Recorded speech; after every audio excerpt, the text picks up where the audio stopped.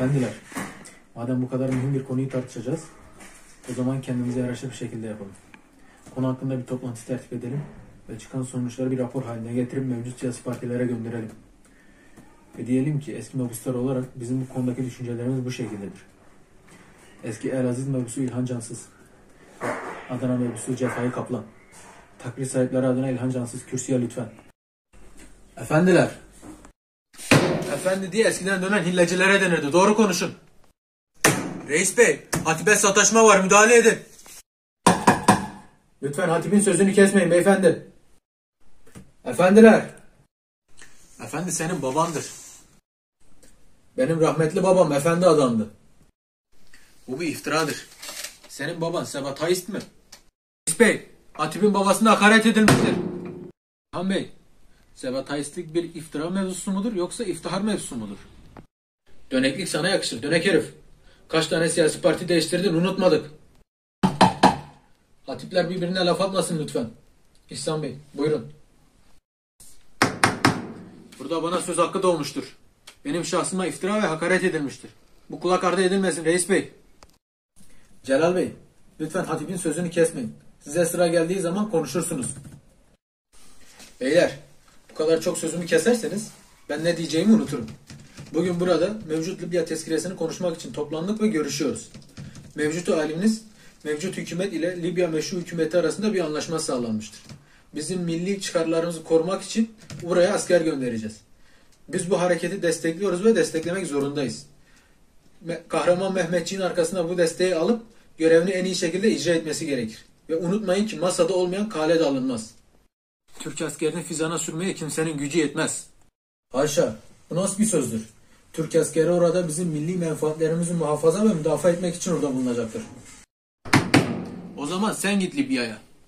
30 senedir memleketin ordusunda görev icra etmişti. Ersun Paşa kumpas kurulmasaydı paşalığa kadar terfi edecekti. Darbecilerin ayak oyunu ile kurmay albaylıktan emekliye ayrıldı. Şu an bile göreve çağırsalar yaşına bakmaksızın gelir ve seve seve ordunun başına geçer.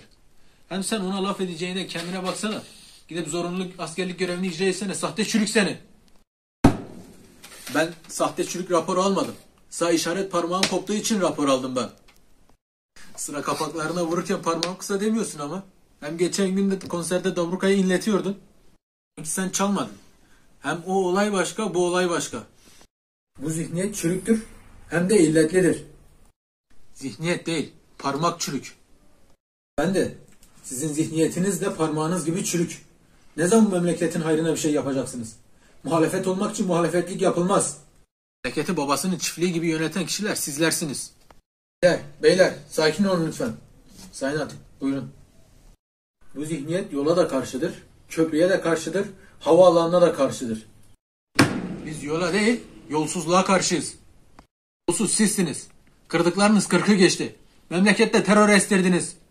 Beyler, beyler sakin olun lütfen. Buyurun Sayın Hatip. Bu zihniyet memlekete yapılan Keban Barajı'na bile karşı çıktı. Bu kadar elektriği toprağa mı vereceksiniz dediler. İlk köprü yaptığımız zaman köprü yıkılır dediler. Neymiş gemiler geçerken köprüye çarparmış. Neymiş Yunan İstanbul'u işgal ederse oradan yürüyüp Anadolu'yu işgal edermiş.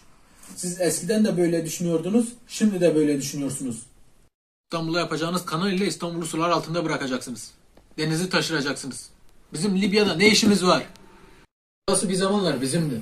Ne çabuk unuttunuz. Siz Suriye'ye de aynı şeyi söylediniz. Suriye ve Halep. Misaki Milli'nin bir parçasıdır. Siz Misaki Milli'yi bilmiyorsunuz. Misaki Milli'yi de savunamazsınız. Siz Sevr'i savunursunuz ancak. Sevr'i savunan namussuzdur. Asıl sen Misaki Milli'yi bilmiyorsun. Beyler karşılıklı atışmayın lütfen. Libya tezkiresini destekliyor ve devletin hayrına görüyoruz bu kararı. Şimdi de karşıt görüşü savunanlar adına Cevdet Celal Bey'i kürsüye davet ediyorum. Takrir hakkında konuşmak istemiyorum. Hatip bana dönek herif dedi ve kaç parti değiştirdiğimi söyledi. Neyse. Ne söyleyeceksen söyle işte. Efendiler. Az önce efendi diye eskiden dönme hillecilere denir diyordun. Şimdi ne oldu da ne değişti? O biraz önceydi. Ne yani? Hemen döndün mü sözünden? Sana dönek dememin sebebi bu yüzdendi işte. Dönek diyemezsiniz. Ben dün de muhaliftim, bugün de muhalifim. Birkaç tane parti değiştirdim diye dönek olmuyorum. O zamanın şartları bunu gerektirdi ve ben de bunu yaptım. Biz bu tezkireye de karşıyız, yola da karşıyız, havaalanına da karşıyız. İşte o kadar.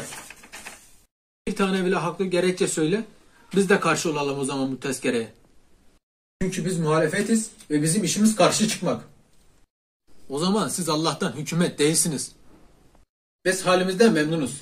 Muhalefet etmek daha kolay. Biz hükümet olmaya da karşıyız. Sen kafayı yemişsin. İtiraz ediyorum. Ben kafayı yemedim. Ama bu toplantıya biraz ara verelim lütfen.